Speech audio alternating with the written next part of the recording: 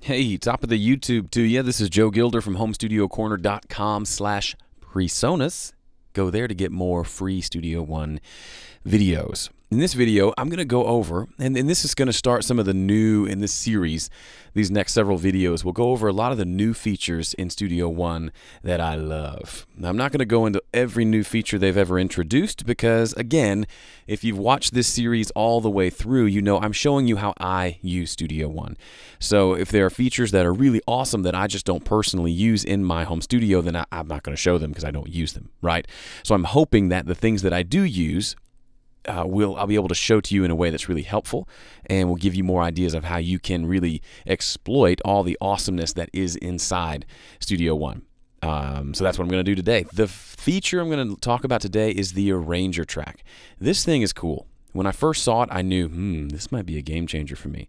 So I'm used to having a marker track, right, where you can go through and I can add in V1, verse 1, and you can add these little flag looking deals to make your verse, chorus, whatever. And that's how you do it in Pro Tools or anywhere else usually.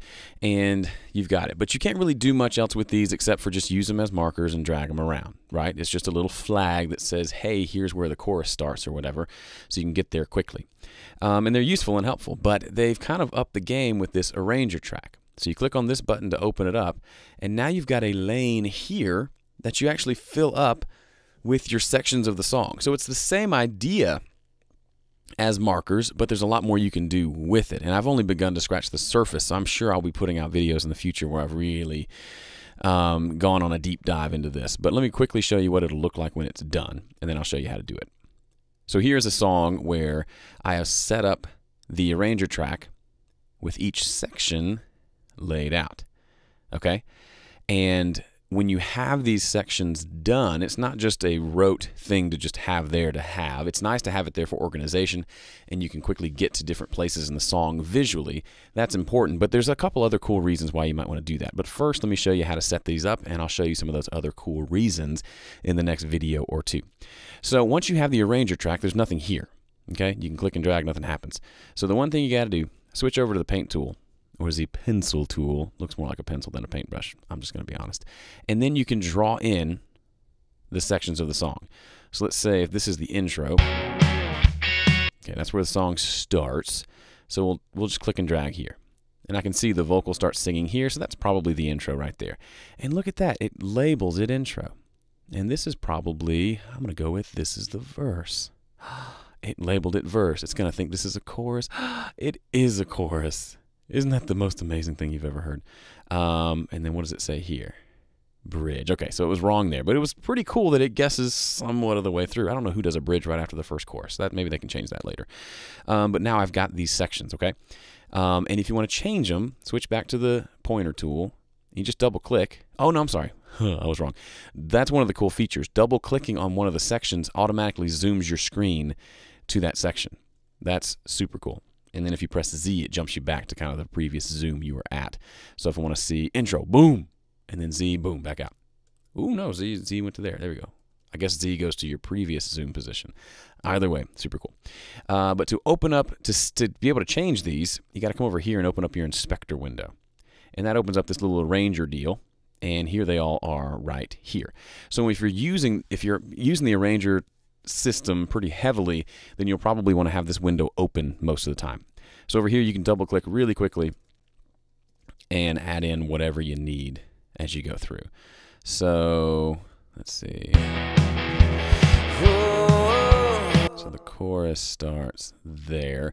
And again, this is an unfinished song that uh, that i have only got a drum loop and some guitar. So you may see this one come to life a little bit more in future videos. But one of the cool things, one of the great things about Studio One, they've really upped their game. Nobody likes to come up here and click on different tools, right? It's not fun. It's not intuitive. And you can remember some of the shortcuts. I'm pressing one, two, three, four, five on the on the top of my keyboard here, numbers one through five. And that's somewhat helpful. But they've gone a step further. Depending on where you're holding the mouse, when you press command, it changes. So out here, I've shown you this before, it changes to the, uh, the marquee sort of tool. Up here, when you're hovering over the arrange window, guess what? it turns into the pencil. So you don't have to switch to the pencil tool, just hold down command and you can draw things in. If you let go, then you can drag the ends out. Important point, while you're setting these up, don't click and drag. I'll show you that in another video. You'll mess things up pretty quickly if you do it that way. Um, so this is going to be a chorus. Next.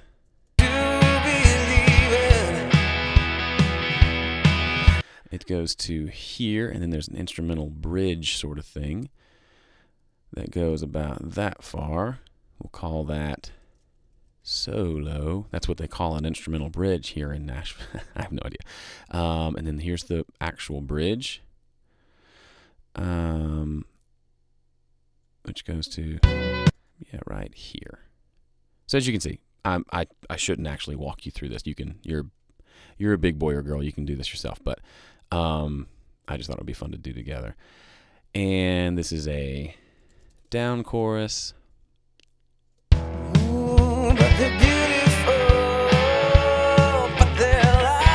Okay, this song is going to be so much bigger once there's real drums. Trust me, we've already tracked them and they sound amazing. Um, and we'll drag that out, and then we're into, you guessed it, the outro. Okay, so now we have all this set up. It looks beautiful. If we come in here and zoom out, which a quick way to do that is click on a region, Command A to select all the regions, and then Option Z will kind of zoom out to whatever you have in the session. It's almost perfect, not quite. Um, but you can see I've got all my sections mapped out, and I can quickly see how the song goes. And it's a lot more intuitive than having this V1 here and then having another marker right here. Um, they mark the beginning, but this actually shows you the whole section, and that will come in handy in the next video, so be sure to check that out. In the meantime, if you want to sign up or check out all my other Studio One videos, head over to homestudiocorner.com slash presonus. Thanks for watching. My name is Joe Gilder. See you soon.